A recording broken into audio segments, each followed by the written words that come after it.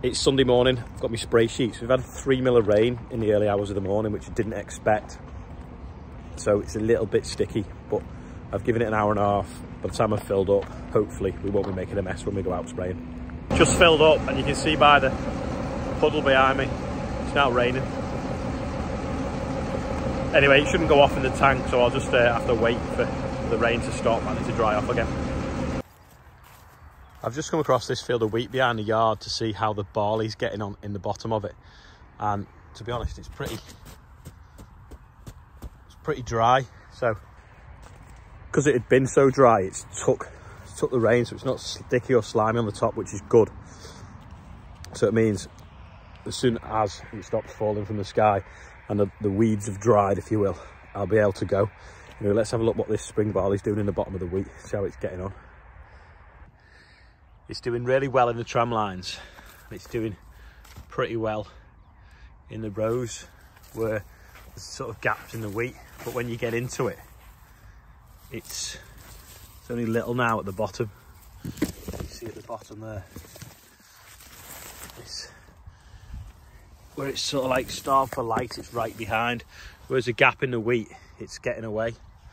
So hopefully, look over here maybe a bit better see little rows in the bottom down there. It's dead hard to spot, to be honest, on the camera. See, that's it down the tram line, getting away. But in the crop, it's just there. So hopefully it'll sort of stay suppressed by the wheat crop. Once the wheat comes off, hopefully it'll just bounce up and we'll be able to harvest some spring barley after the wheat. So fingers crossed we got the timing right. Shame we didn't quite get the, the GPS file right to get it right in the middle of the rows, but we can try it again next year, can't we? It's pretty hard to spot. We drove a drill through this only a few weeks ago, isn't it? There's also tufts of barley sticking out of it, but now the wheat's kind of overtaken the barley. So the barley's sort of like necked over and the wheat's come up through. We'll see if we can see the clover coming up anyway. To be honest, the drill went down here. Can't see any clover whatsoever. That's, that's a bit. Oh, maybe that is as well. Certainly not grown as well as the spring barley is. It's gone fine. I've checked the radar pictures. It looks like we're good to go. So also it's not raining. I'm going to go to Rain Hill. It's called Rain Hill, but it's not been raining there. So I'm going to shoot up there and get going. Just arrived at Rain Hill. The track is dry, which is good. It doesn't look like it's rained here for a good few hours. And there's my favourite field of barley. So hopefully the crop's dry, we're going to go and spray, so we'll go and get it done. Yeah, if you look, plants are dry at the bottom, beans are coming on well. Some are actually just starting to flower, which I don't really want them to do yet. I'd sooner them be sort of a good foot higher before they start flowering. But we'll see. Maybe I don't even think they've had the three mil of rain I've had overnight in the other yard, to be honest. A bit of moisture down there, but not a lot. I'm really pleased with this field, although it was sumoed and then we used the avatar as well. But it's a hell of a standard of beans, to be fair. Blue skies, yet. Spots on the window, no. Well, luckily just got a few spots and then it brightened up, so I've managed to finish the field. So on to the next now. Just gonna have to wait at the level crossing. There's a train further down the line, so I'm just waiting for that and then we can go. Here it comes. Choo choo. It's actually going quite fast, isn't it? Oh, it makes you dizzy that. At least the crossing's here this time, it's not been stolen got back to HQ and they've had half a mil of rain here, so gonna get me dinner, let it dry off a bit. I've left the beacons on them. I thought I'd just show you this field. That's where the muckheap was. There's a little bit of a patch there. But I've gone all the way around the outside of it.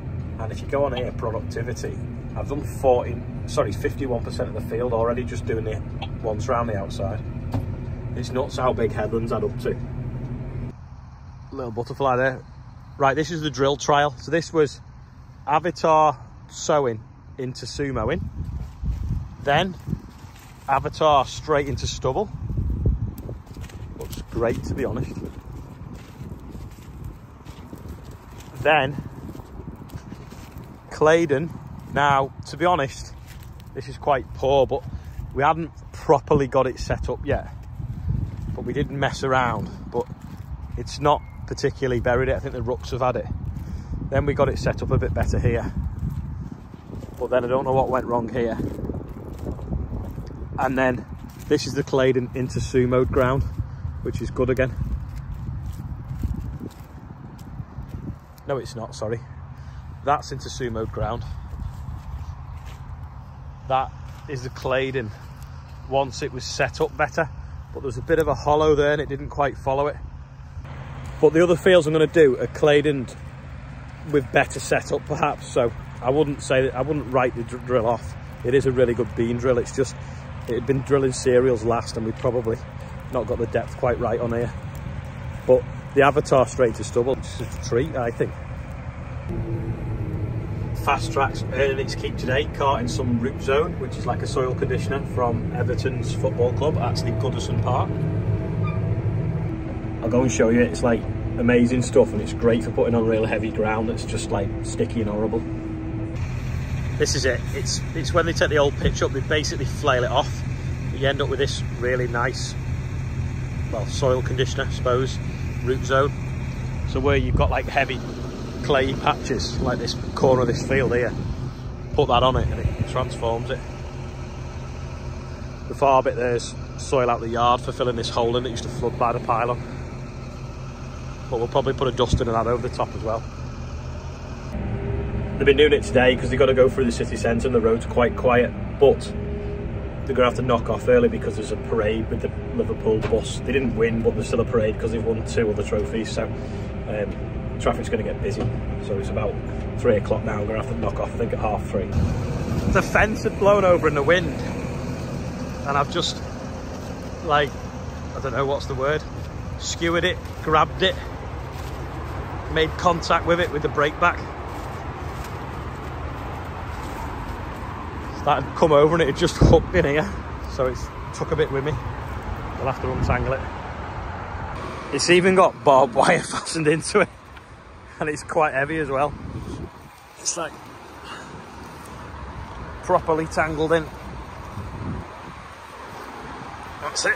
Uh, better move that so we don't end up with it in the combine. It won't do much good. Thrown it back there over the fence. I actually don't know whether it was the wind or whether it was a car crashed off this road and knocked it, but it was properly swinging in and I thought I was just going to miss it, but it didn't. It just scooped it up. Just about to fill up again and I want a little bit more of that sky than that sky. Not decide what it's going to do. It's all right over there as well. This is another field sown with the Claydon and it's a little bit patchy. There's the odd ones eating and I think that's rooks or crows or pigeons or whatever. It probably would have been better if it had got rolled tight but that's another job so I, I the more I think about it, the more I actually think that the, that the Horsch is a better drill for beans now. So I think next year we'll do even more with the Horsch uh, as like a, a, second year trial and cut back a little bit with the Claydon a bit more. Another block finished. Quick scoop down the road and block up there, two fields, sort of a 10 hectare and a 20 hectare. And I've done all the beans